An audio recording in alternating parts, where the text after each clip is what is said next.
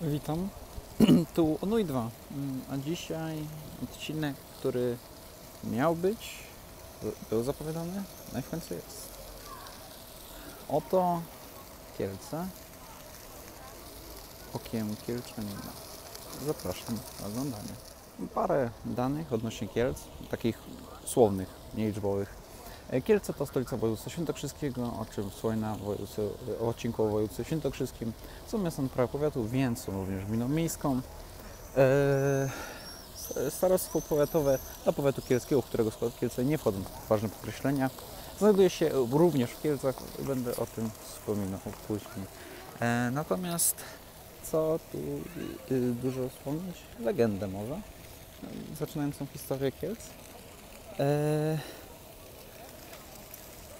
Syn Bolesława Śmiałego, Mieszko, postanowił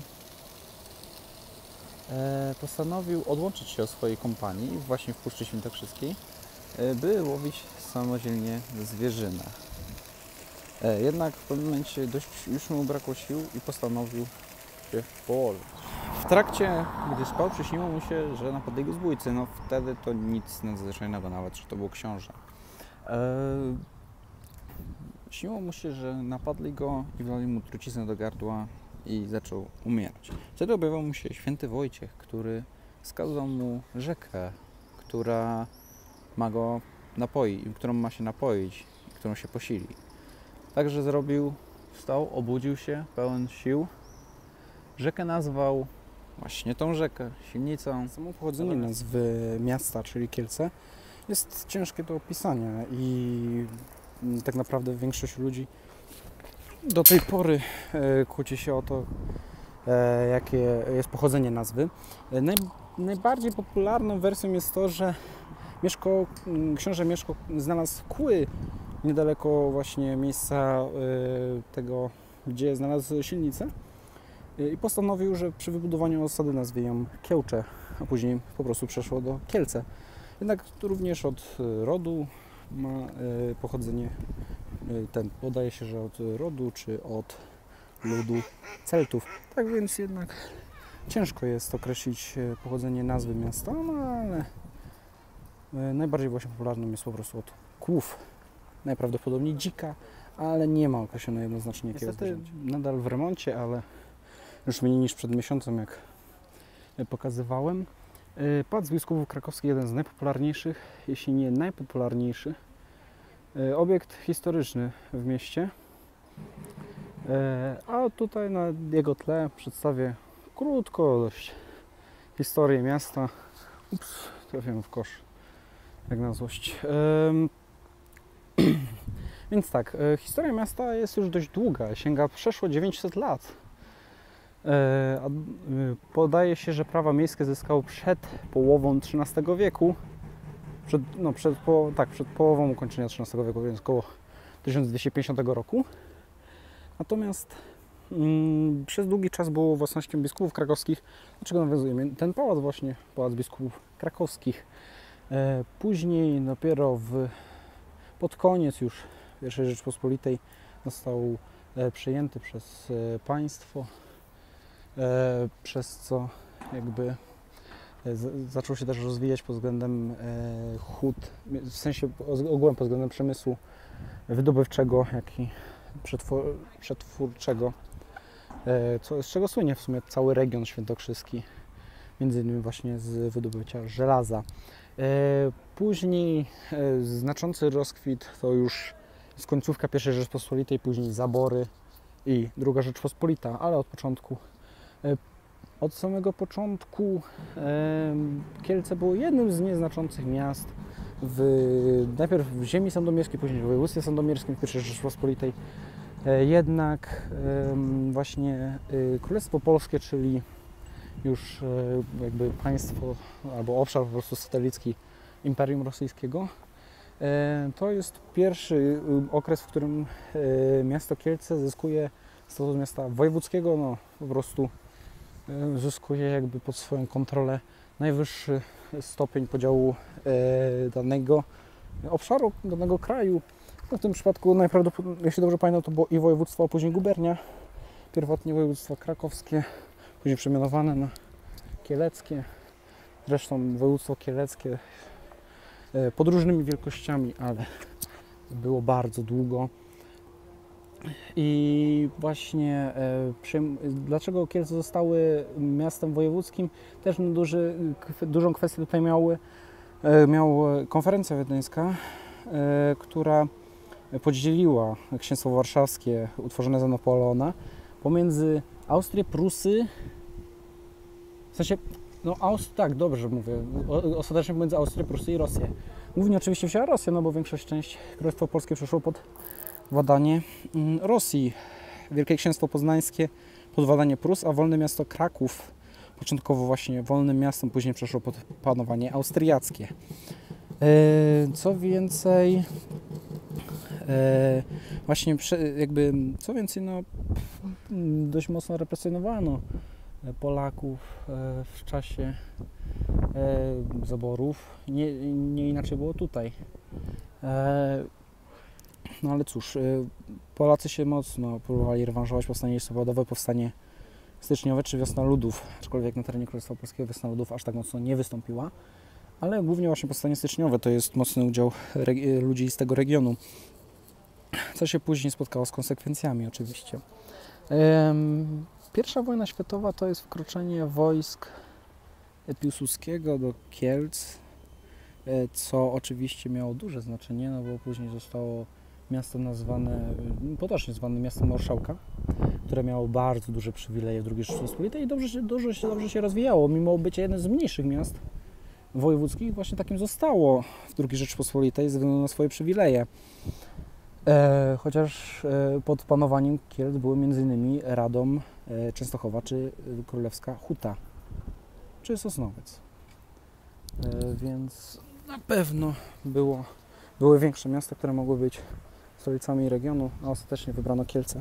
Druga wojna światowa to oczywiście zdecydowane zahamowanie rozwoju miasta, o, przepraszam, E, i dopiero lata 60. to był e, ponowny rozwój e, regionu, samego regionu oraz miasta oczywiście, co też duże znaczenie miało przemysł, który też był w regionie, głównie jednak na północy, ale w Kielcach również. I województwo kieleckie zostało zniesione ostatecznie 1998 roku w jego miejsce pozostało województwo świętokrzyskie, które mamy do dzisiaj, jedno z 16 województw, aczkolwiek pierwotnie miało go nie być.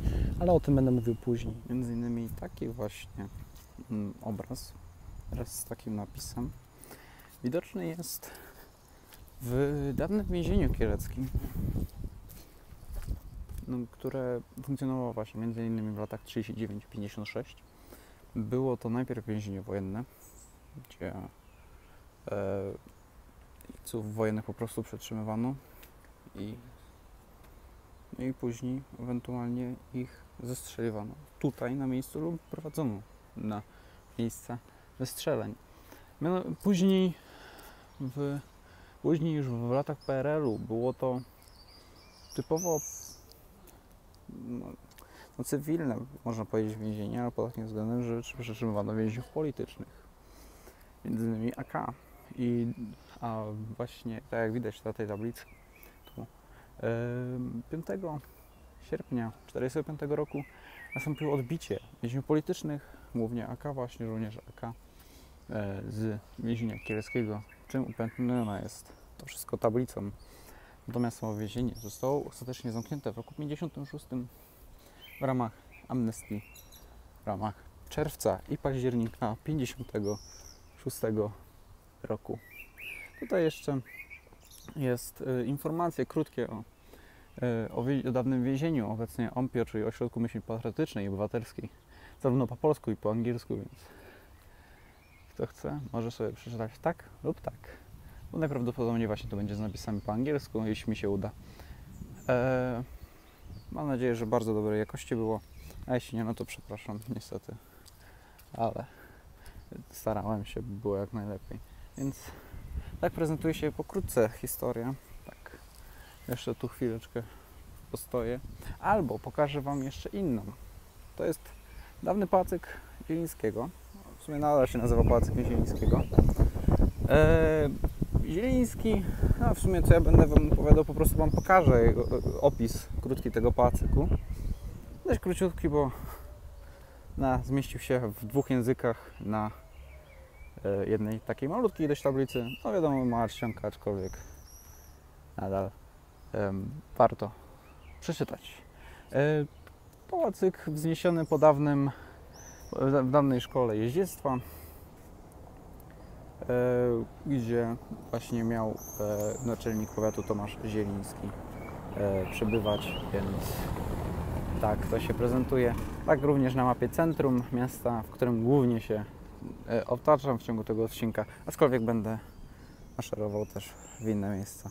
Zobaczymy ile czasu mi pozwoli, ile środki jakby fizyczne, to znaczy po prostu dopóki mi nogi nie siądą, bo głównie i tak chodzę na nogach, bo tutaj no, Kielce to właśnie takie miasto, gdzie no, nie ma co dużo chodzić, znaczy jeździć w sumie autobusem, ale co chodzić. E, No i tak naprawdę to tyle z grubsza z historii Kielc, takiej starszej. Jest jeszcze oczywiście nowsza, współczesna.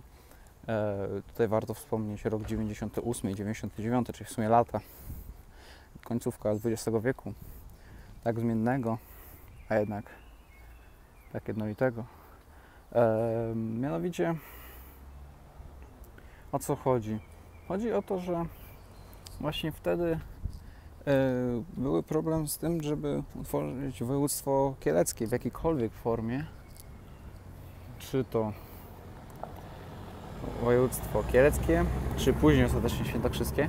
Mianowicie początkowo było, po, był pomysł utworzenia 12 województw.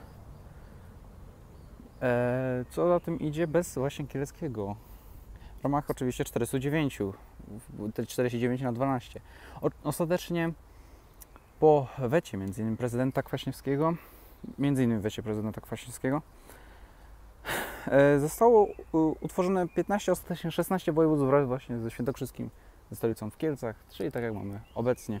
Plan 17 województw to jest pomysł na inny odcinek. A zatem zapraszam jeszcze do ciemnej części historii Kielc. Te wszystkie nazwiska, które są wmurowane w planty, a konkretnie przy tym jednym budynku. 75 lat temu, 4 lipca 1946 roku, doszło do pogromu ludności żydowskiej. Tylko to nie byli Niemcy, to już było po wojnie. To byli Polacy. To Polacy. Niestety słabo słońce, więc no nie, nie wiem jak pokazać. Niestety. Ale to właśnie tu.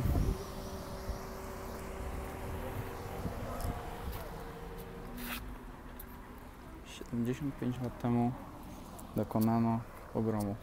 To jest czarna fragment, czarna historia miasta, która pokazuje, że miasto nie słynie tylko z, z dobrych rzeczy, nie słynie tylko z dobrego przemysłu, dobrej historii,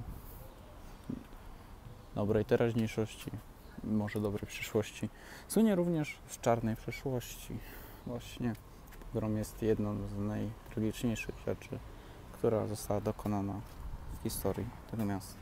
Czas na komunikację, a zaczynamy od budowli, która została wyremontowana najbliżej obecnej daty, czyli mówię o dworcu autobusowym. E, Dworzec autobusowy budowano 9 lat pierwotnie, od e, roku 75 do 84, e, czyli jeszcze w PRL-u.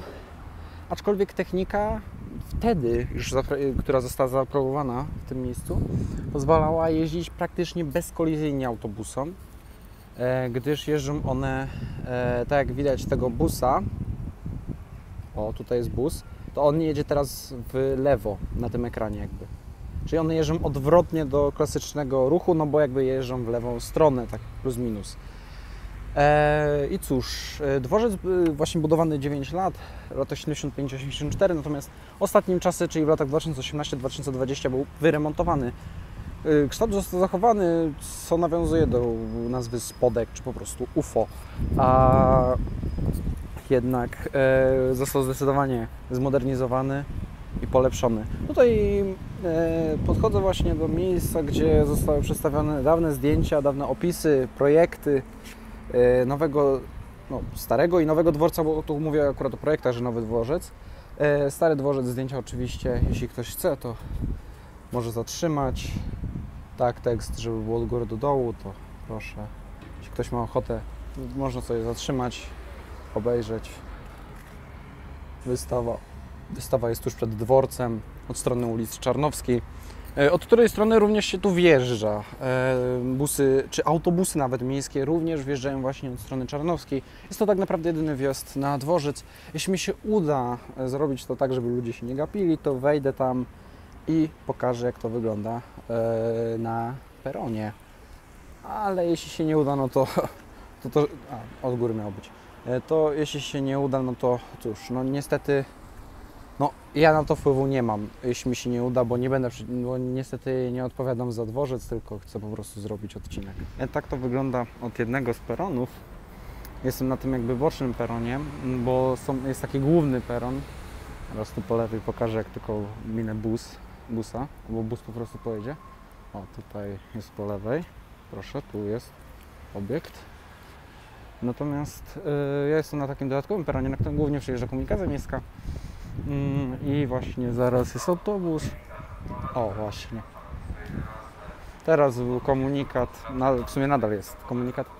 To też jest bardzo ważne, że mówię o komunikatach, bo można siedzieć w środku tam. No nie mam jak pokazać, no bo tyle jest ludzi, że będą się zaraz gapić. No, tyle jest tutaj jakby e, tych autobusów, busów i tak dalej. Aż z wrażenia autobus nie przyjechał. Na szczęście to miałem tylko tak sobie oprzeć i pojechać, ale ten, no tutaj widzicie, o, o nie, nie, nie, nie, to mryga, to lepiej nie. Mm, Tam jak, y, no nie pokażę, bo to jest no za wysoko, ale jestem właśnie y, jakby, to jest Czarnowska, o. To jest Czarnowska, natomiast y, jestem na dokument dworcu, o właśnie przyjechał 45 e, którym miałem jechać teorię, ale przejdę się już piechotą, bo jedę na dworzec PKP Wam pokazać. Więc tak wygląda to mniej więcej z perspektywy e, środka, aczkolwiek no, z tego dokładnego środka to już Wam nie pokażę, bo niestety, ale niestety, ale e, tyle ludzi że nie ma pokazać. Jeszcze tutaj, jeśli będzie widać, to no, tutaj dość sporo przyjeżdża busów, jak widać, co rusz jest godzina 14.12, więc co rusz co, bardzo dużo tutaj busów przyjeżdża. Więc e, na spokojnie tutaj zawsze ktoś coś znajdzie. Bardzo dużo busów jeździ e, nie tylko e, tutaj lokalnie, ale też krajowe, bo na przykład stąd wyjeżdżają wszystkie busy do Warszawy, do Krakowa czy do Zakopanego, albo nawet do, do Poznania chyba nawet jest bus stąd, albo nawet dalsze, do Lwowa są, do Charkowa. Więc tak wygląda dworzec PKP, PKS, przepraszam, a właśnie zaraz do dworca PKP, który w sumie jest tam. Więc no to już widać budynek PKP, więc e, zaraz przejdziemy do dworca PKP. E, teraz jesteśmy przed dworcem kolejowym z kolei. Po prostu nazywa się Kielce, nie tak jak na przykład jest Warszawa Centralna czy e, Wrocław Główny.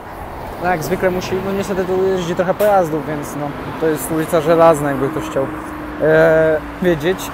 Niestety dużo pojazdów jeździ, więc czasem może być przesłaniane. Ale e, tak, e, od pierwszy w tym miejscu został oddany pod, e, pod koniec XIX wieku, w 1885 roku w ramach Iwanogrodzko-Dąbrowskiej linii kolejowej. Natomiast w obecnym kształcie, takim jak tu widać, został oddany w roku 1971, czyli jeszcze za PRL-u i jak na razie się trzyma, aczkolwiek jest w planach jego przebudowa wraz e, z utworzeniem ewentualnego parkingu nad dworcem, w sensie nad torami. Czy wyjdzie, czy nie, no to już zobaczymy, ale no, na razie jak widać trzyma się dobrze. No, czerwone światło, więc nie będę miał zaraz co pokazywać, więc już się zmierzam i zapraszam do dróg. Najważniejsze, że jakoś mocno nie wieje. Oj, kurde, i słup musi być jak zwykle. E, mam nadzieję, że jakoś mocno nie wieje, bo stoję na dość sporej wysokości, no przynajmniej tych parunastu metrów. E, jestem na kładce nad ulicą Źródłową, jedną z, fragment jednej z głównych arterii. Mówię tu oczywiście o ulicy Źródłowej, e, a na pewno główna arteria re- relacji północ-południe. Droga krajowa numer 73 to jest jedna z głównych arterii właśnie w mieście, łącząca północ z południem na swój sposób. E, mianowicie zaczyna, droga krajowa, sama droga krajowa zaczyna się w Podkieleckiej Wiśniówce i jedzie do Krakowa, y, fu, do Tarnowa, a potem jeszcze dalej na Podkarpacie. Natomiast jest jeszcze druga droga prowadząca północ-południe. Tam już nie będę szedł, bo tam też nie mam jak pokazać tego. Mianowicie jest to obwodnica Kielc i to jest relacja północ południowy zachód na swój sposób, ponieważ to jest jakby obwodnica prowadząca na fragmencie drogi ekspresowej numer 7 prowadząca od Warszawy do e, Krakowa. Jakby jeden fragment oczywiście, bo tu cała droga to jest od Gdańska do Chyżne. Mówię tutaj o drodze krajowej i ekspresowej numer 7. Natomiast właśnie y, fragment, y, jakby odcinek to jest no, Warszawa, Kraków, czy tam nawet można skrócić to do, nie wiem, do Radomiu Andrzejów tak żeby pokazać Kielce, na jakim odcinku to jest. Oczywiście jest jeszcze parę innych dróg, warte do, do wspomnienia jest jeszcze na przykład droga krajowa nr 74, yy, która jest w relacji wschód-zachód i której, której ekspresówka jest planowana właśnie na najbliższe lata. Yy, jak widać, no, nawet nie jest aż tak dużo ludzi, dużo samochodów na tej źródłowej, bo przeważnie są korki sięgające od tamtego skrzyżowania, zaraz pokażę w przybliżeniu, od tamtego skrzyżowania, gdzie są te znaki na e, Częstochowe i nie pamiętam jaki jest drugi w lewo. Prosto jest oczywiście e, Warszawa, Łódź e, i Opatów. Tutaj z drugiej strony jest, zaraz pokażę tak, żeby było widać światła. Tam są światła. O, E, I to, i to czasami cała, cała ta ulica potrafi być zakorkowana. W sumie to jest cała długość ulicy Źródłowej, bo w innych fragmentach to jest ulica Radomska, ale jest Solidarności, ulica właśnie Źródłowa, potem Tarnowska, Aleja Popiełuszki, ulica Ściegiennego i tak to przez miasto przebiega. Jest właśnie również droga 74, która w części jest już ekspresówką na terenie miasta, część będzie, projekt, przetarg jest, ma być ogłoszony do końca roku. E, z dróg e, wojewódzkich to m.in. 762 i 761. E, obie w dużym stopniu, zwłaszcza 762 jest na Białogonie, czyli, czyli jednym z największych, największych, jednej z największych części miasta. I właśnie ta droga prowadzi no, od Kielc tam do E, na zachód. Nie pamiętam dokładnie do jakiego miasta, ale właśnie między innymi przez ulicę Krakowską, która jest główną arterią wylotową na Kraków, bo ona doprowadza do e, węzła Kielce Południe, czyli e, południowego krańca obwodnicy Kielc. Do północnego prowadzi właśnie ta droga, tylko w drugą stronę, bo ta, w tą stronę, którą to widzicie, w sensie ten pas na dole jakby prowadzi do, te bliżej mnie prowadzą do Warszawy, do Radomia i na obwodnicę Kielc, a bardziej na węzeł Kielce Północ te dalsze prowadzą do Tarnowa i do Morawicy, która jest tuż przed Kielcami. Tej drogi planowana jest obwodnica, ale no nie wiadomo kiedy powstanie.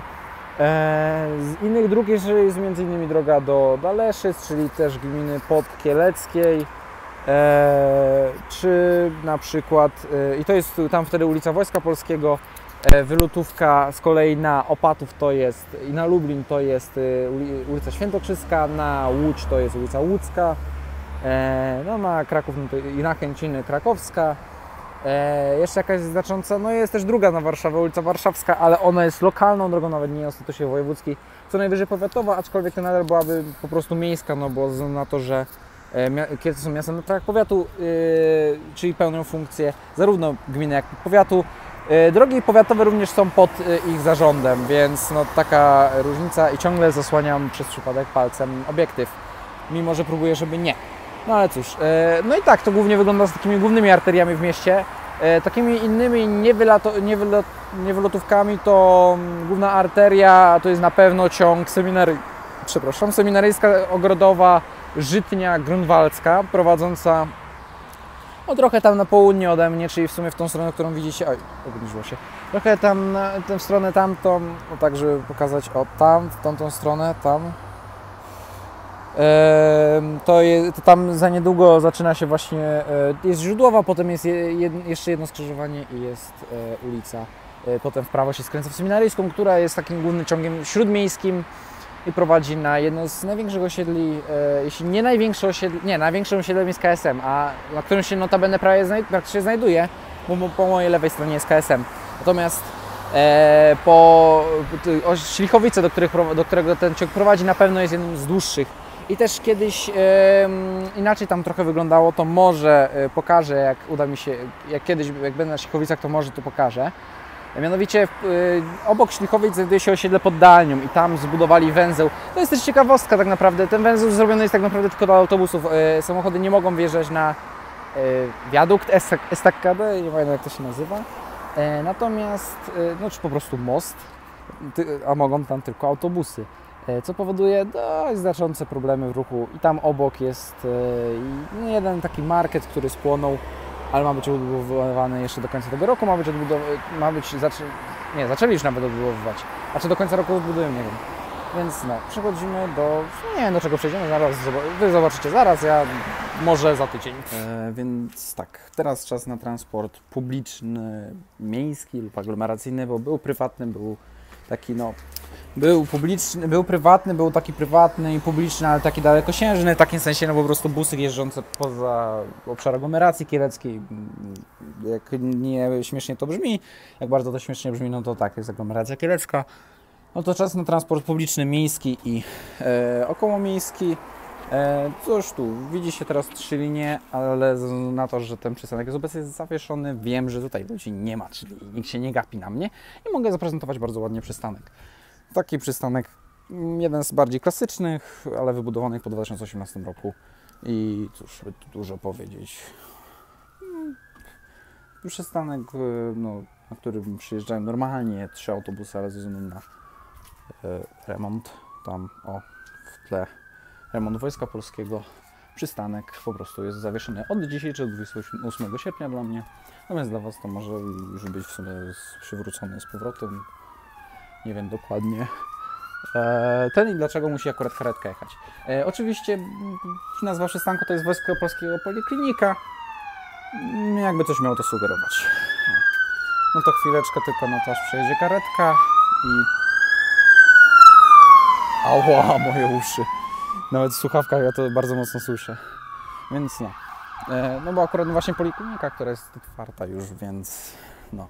Przystanek taki, no, ładny, ale no, no ten jeszcze jest funkcjonalny nawet, ale em, ale starsze przystanki z 2018 roku, które e, były wbudowywane trochę wcześniej dosłownie, e, są po prostu fatalne, a koszty były, koszta były bardzo duże, chociaż wiadomo, że trzeba jeszcze podkreślić, że budowana była cała, e, cała zatoczka, więc nie można powiedzieć, no w sensie, no w sensie ten przystanek był wybudowywany, budowany od początku po, przy remoncie tego odcinka Wojska Polskiego, tutaj, który jest, czyli Wojska Polskiego na odcinku od Tarnowskiej do Zakopiańskiej. Jest to i był to odcinek remontowany przed dwoma laty. W sensie, nie, w sensie nie, przed rokiem, bo przed dwoma laty był ogłoszony przetarg.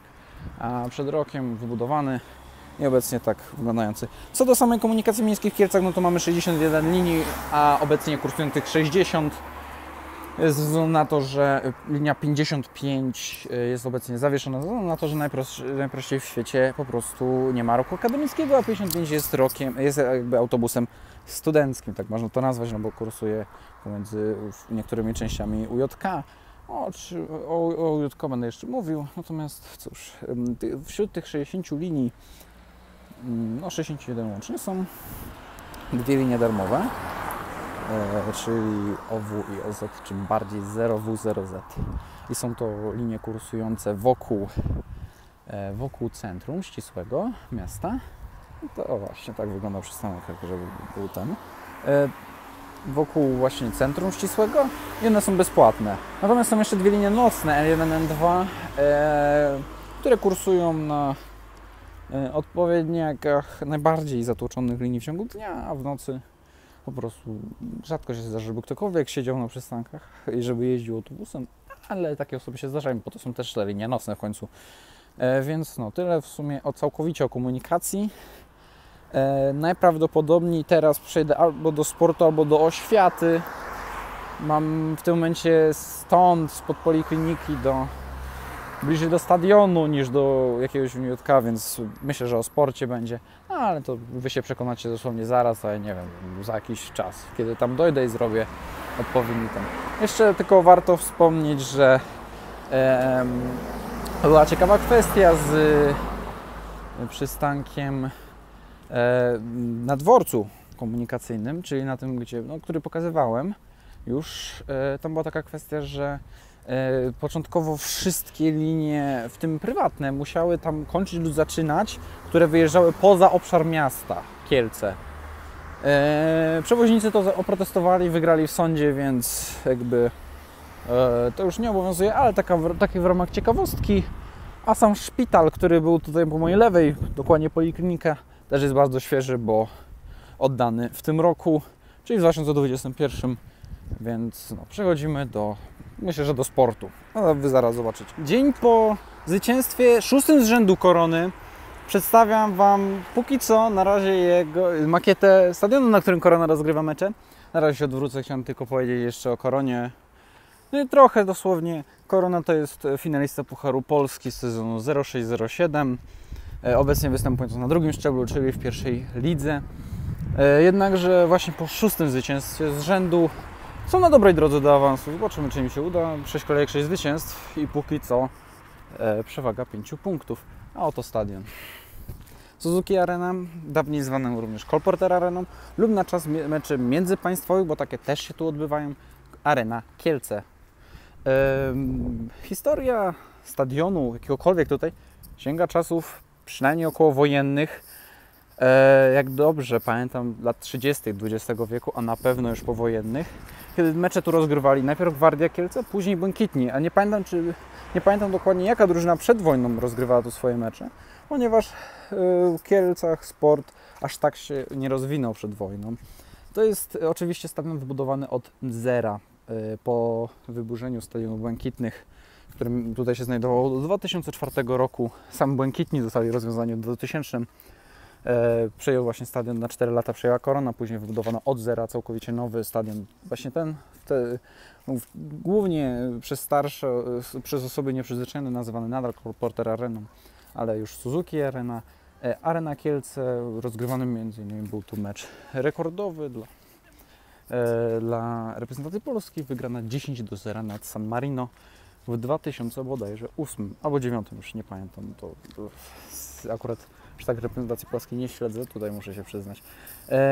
Stadion pomieści 15,5 tysiąca, niektóre dane podają 15 700, jednakże na, na większość meczy ligowych, pucharowych, etc. e, jest zmniejszone do, do ponad 13 tysięcy, ale nadal jest to dość spory. E, Stadion wy- nie wybudowany na Euro 2012, e, po prostu ale po prostu tak wybudowany, ale bardzo ładny, nowoczesny. E, W takiej formie trzyma się już 15 lat. Jest to jeden z now- nowocześniejszych, e, no, jeden z nowocześniejszych obiektów e, w- ogółem w Polsce. Były tu co prawda rozgrywane Mistrzostwa Europy, ale do lat 21. W 2017 roku między innymi tu swój mecz grała Polska z reprezentacją Anglii. Oczywiście i Polska i Anglia U21 ale no, wynik nie był satysfakcjonujący 0 do 3. Sam na tym meczu byłem, ale nie wspominam go najlepiej. No i co, no kasy klubowe akurat mam po, po swojej prawej, po swojej lewej mam grupkę e, dzieciaków, które akurat trenują, bo po mojej lewej znajduje się boisko i za stadionem jeszcze jest jedno boisko. Natomiast e, trzeciolig- e, już czwartoligowe rezerwy, bo spadli z trzeciej ligi, e, czwartoligowe rezerwy Korony swoje mecze rozgrywają na Szczepaniaka. Tam możliwe, że pójdę, tak, na pewno tam będę, bo będę obok, jak będę mówił o Vive, więc tam też wskoczę. Tam jest również stadion lekkoatletyczny, ten obok siebie, na ulicy Szczepaniaka. Ale jak widać właśnie stadion kielecki, ten stadion miejski też, z takimi formami się spotykam, ale, ale obecnie tak poprawną całkowicie nazwą klubową oczywiście jest Suzuki Arena. E, to tak jak w sumie jak na przykład jest Allianz Arena w Monachium, a na e, potrzeby meczy międzypaństwowych, czy nawet Ligi Mistrzów wtedy przybiera nazwę Fußball Arena München. No tak samo tutaj po prostu Arena Kielce. No nie piłkarska, ale po prostu arena. Tu jeszcze jest sklep, yy, kibica, więc no i widok z trochę innej perspektywy. Stadion w samym środku robi wrażenie, nie pokażę Wam co prawda widoku z środka, to jest po prostu takie zdjęcie tylko pokazane, to jest na to jest jakby w, w, takim samym kierunku, w którym my patrzymy, czyli no prawie, że no bo stadion nie jest równoległy do ulicy Ściegiennego, na której się obecnie znajduje. On jest trochę przechylony w bok, więc jakby, w, no, no drzewo. E, więc no w takiej perspektywie mniej więcej, o, tak jak tutaj widzicie, tak mniej więcej, no to tam na, tam na wprost jest zrobione to zdjęcie. Więc cóż, e, przechodzimy, no, pokażę Wam oczywiście stadion i rezerw Korony, stadion lekkoatletyczny, ale głównie będę mówił zaraz o Vive, czyli najbardziej tytułowanym klubie w regionie. Wiele widać, no bo nie chcę wchodzić do środka, bo nie wiem jaki, czy można w sumie tak naprawdę, zwłaszcza, że niedługo ma być rozgrywany mecz e, przy tym obiekcie. Jest to obiekt przy ulicy Szczepaniaka, no niestety nie za dużo widać. Pokażę tyle, ile będę mógł, a potem, no widzicie, tam na przykład jest napis Centralna Liga Juniorów, nie wiem, czy było widać. E, natomiast e, jest, tutaj właśnie są rozgrywane mecze już niekoniecznie Centralnej Ligi Juniorów, bo nie grają już rozgrywki U18 w Centralnej Lidze Juniorów, bo spadły, a właśnie grają tutaj już głównie rezerwy oraz drużyny młodzieżowe, choć przede wszystkim drużyny U17 i U18, ponieważ młodsze roczniki zdarza się, że grywają na e, ulicy Prostej. E, historia tego stadionu jest bardzo długa i związana jest tak naprawdę cały czas z Koroną Kielce, od kiedy powstała Korona oczywiście, więc często przez wielu komentatorów, ale i na przykład e, artykuł na Wikipedii odnośnie tego stadionu jest po prostu nazywa ten obiekt e, stadionem Korony, mimo że Korona sama w sobie już tutaj e, nie gra, bo grają tylko rezerwy i drużyny młodzieżowe. Jednak co warte podkreślenia, jeszcze 20 lat temu, 20-15 lat temu e, grywała tu Korona w Ekstraklasie. Czy wówczas, no w sumie i to, i, czy powiem Ekstraklasa, czy pierwsza liga wówczas to jest jedno i to samo. E, natomiast po prostu e, ze względu na, przebud na przebudowę, albo tak naprawdę wybudowanie od nowa stadionu przy ulicy Ściegiennego, po prostu Korona tutaj zamiennie, ten zamian rozgrywa mecze. No, spokojnie, nawet na warunki ekstraklasowe. Myślę, że nadal by wchodził w grę, chociaż może nie aż tak ze względu na. Nie, no jest oświetlenie, to myślę, że dałby radę. Taki na pierwszą ligę to na pewno by dał radę. Natomiast na yy, ekstraklasę może już nie, ale no nie wiem. E, więc tak, to jest właśnie stary stadion Korony, przy, w trakcie gdy przy Ściegiennego grali Błękitni a później przejęła, przejęły to rezerwy i drużyny młodzieżowe. Stąd na przykład tutaj napis Centralna Liga Juniorów, bo młodzieżówka Korony to mistrzowie Polski sprzed niedawnego okresu, bo sprzed bodajże dwóch lat, w sensie no, sezonu 18-19, w takim sensie. Eee, wtedy Korona U18 wygrała po, Ligę Polską, no, czy tam po prostu Centralną Ligę Juniorów do lat 18, e, dając prawo gry, gry, w Lidze Mistrzów i grali w Lidze Mistrzów, co wiadomości o tym to po prostu huczało w e, regionalnych mediach. Więc e, tak, jeszcze zaraz na szybko pokażę e, stadion lekkoatletyczny, który też się znajduje, a właśnie, znajduje się przy ulicy Szczepaniaka, nie wiem czy powiedziałem. E, zaraz przejdziemy, przejdę do stadionu lekkoatletycznego przy ulicy Szczepaniaka, który jest niedaleko stąd i przechodzimy do Vive. Stadion lekkoatletyczny, widok jest plus minus od ulicy Szczepaniaka, w sensie trochę głębiej wszedłem, taka ścieżeczka jest obok e, stadionu lekkoatletycznego właśnie, ale idę, idę od y, ulicy Szczepaniaka. Tam dalej jest obiekt, który jest moją destynacją w tym momencie tak naprawdę. O, jest to oczywiście Hala Legionów, bo tu ogółem właśnie na stadionie, jak się nazywa ten rejon miasta, jest kompleks sportowy. No to jest, no dobra, no to jest w sumie na, nazywany stadionem lekkoatletycznym. Jest bieżnia, aczkolwiek muszę powiedzieć, że Politechnika Świętokrzyska wybudowała nowy obiekt, do którego myślę, że przejdę opisując oświatę w Kielcach.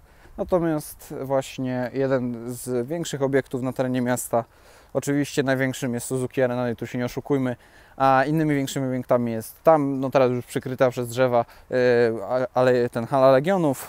Inną, innym dużym obiektem w miarę jest yy, hala na Krakowskiej, która yy, jeszcze przed, w sumie nadal przecież pokazuje, czy no możemy tam zobaczyć po prostu rozgrywki elity kobiecej piłki ręcznej. E, natomiast w hali Legionów oczywiście swoje mecze rozgrywa Vive, natomiast jeszcze przez jakiś, jakiś czas temu rozgrywała drużyna siatkarska z Kielc. E, chyba skończyła, pod, chyba została rozwiązana w momencie, gdy miała nazwę Buskowianka, Kielce, aczkolwiek już nie pamiętam, bo e, miała dość często zmieniane nazwy w ostatnich latach funkcjonowania, została rozwiązana ostatecznie bodajże w 2018 roku, więc tak naprawdę nie mamy drużyny e, siatkarskiej w Kielcach, takiej na wysokim poziomie. Piłkarsko Korona Radzi sobie dobrze jak na razie pierwsza liga lider po siedmiu kolejkach, więc nie jest najgorzej.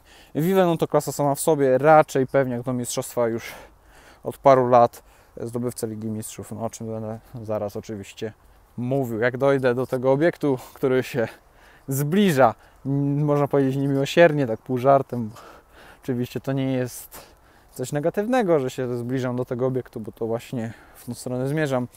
Natomiast e, właśnie na tym stadionie lekkoatletycznym też czasami rozgrywane są jakieś e, imprezy regionalne, czy raczej o, o randze mistrzowskiej, o randze między, ten, międzywojewódzkiej, czy międzyregionalnej raczej nie, ale możliwe, że nie wiem o jakiejś imprezie, która odbywała się w ostatnim czasie tutaj i po prostu w tym momencie mówię to, a na przykład rozgrywały się jakieś, nie wiem, Mistrzostwa Polski do lat załóżmy 18 czy 20. Tego nie jestem pewien, ale raczej ze względu na e, obiekt, no i oczywiście on ma już swoje lata, no to nie spodziewam się, żeby tutaj e, rozgrywali jakieś super, e, jakieś super duże imprezy ogólnopolskie, już w ogóle. Wojewódzkie myślę, że tak, no bo w końcu Kielce są stolicą województwa świętokrzyskiego, więc nie, nie ma się co oszukiwać. Więc tak naprawdę hala już dużo zaraz to trochę nawet gorzej widać na kamerze niż w rzeczywistości, bo to jest bliżej niż na tej kamerze widać, choć jest powiększenie tylko razy jeden, jakby, czyli tak naprawdę powiększenia nie ma. To zbliżam się do tego obiektu i zaraz przechodzimy do samego Viva. Mm, jeśli połączymy dwa słowa, czy trzy w sumie, no piłka ręczna jako jeden zwrot i drugi zwrot, czyli Kielce, oczywiście do głowy nam przychodzi w momencie Vive.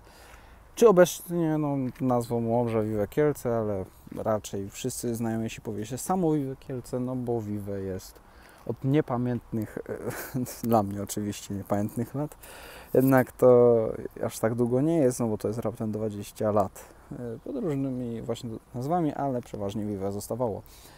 E, historia klubu sięga 1965 roku, kiedy to powstała z klubu o nazwie, e, w sensie powstaje jako Iskra Kielce, e, wydzielona z SHL-ki, czyli po prostu jednego z zakładów na terenie miasta, który SHL potem tworzyła koronę, więc taka też kwestia, ale no wiadomo, to korona w piłce nożnej, też również korona w piłce ręcznej występowała, właśnie jako jedna z nazw Vive w swojej historii.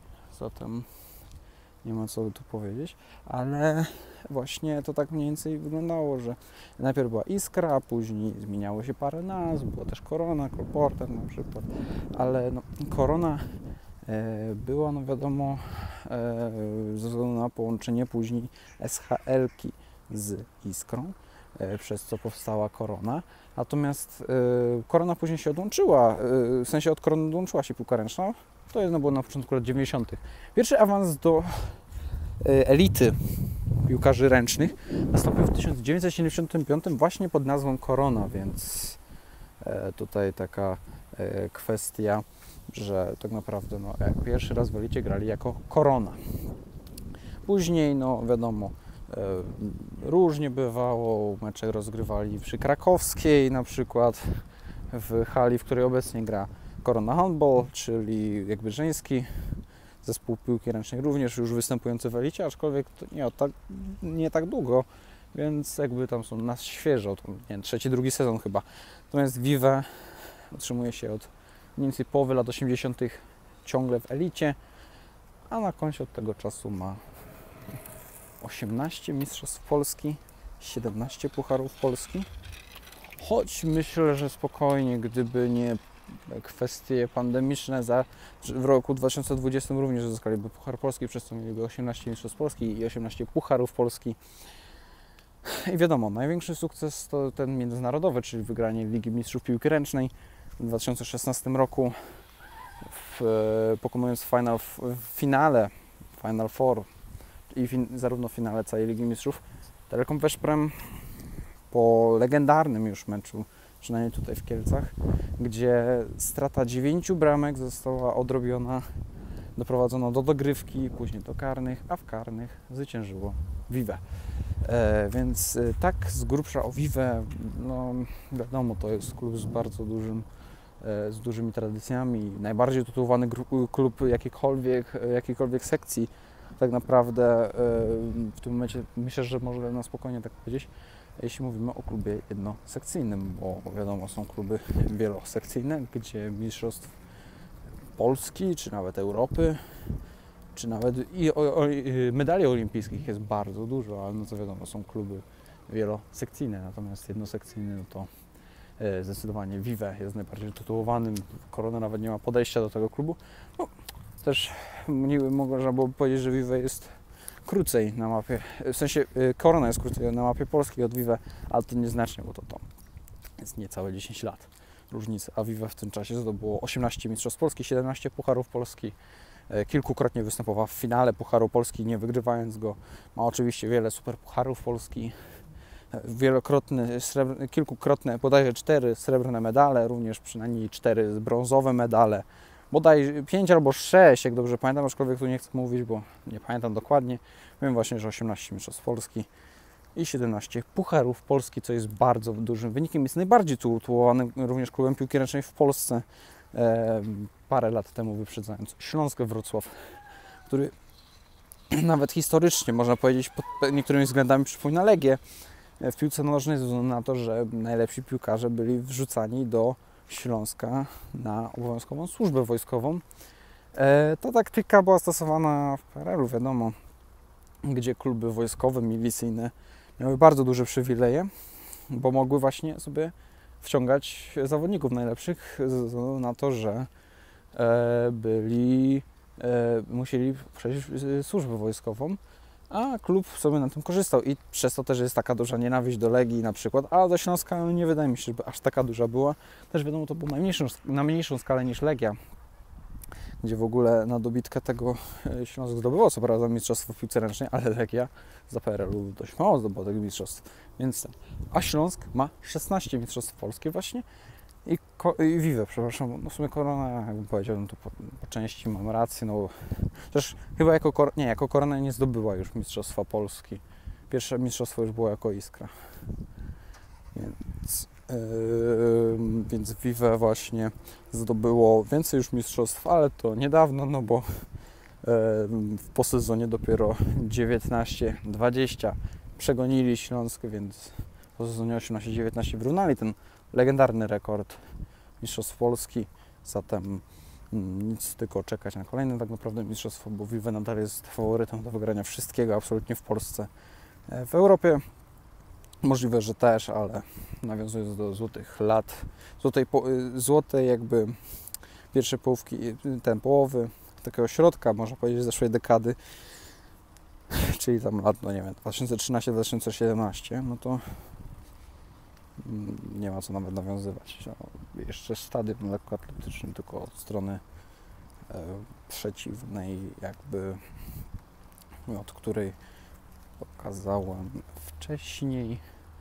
Więc no, a to ogółem cały właśnie region jest e, na stadionie w mniej więcej jak ten, jak ten posąg, to w tamtą stronę jest kadzielnia, na której byłem już dwa razy, dwa, dwa odcinki już były więc niektórzy mogą kojarzyć to.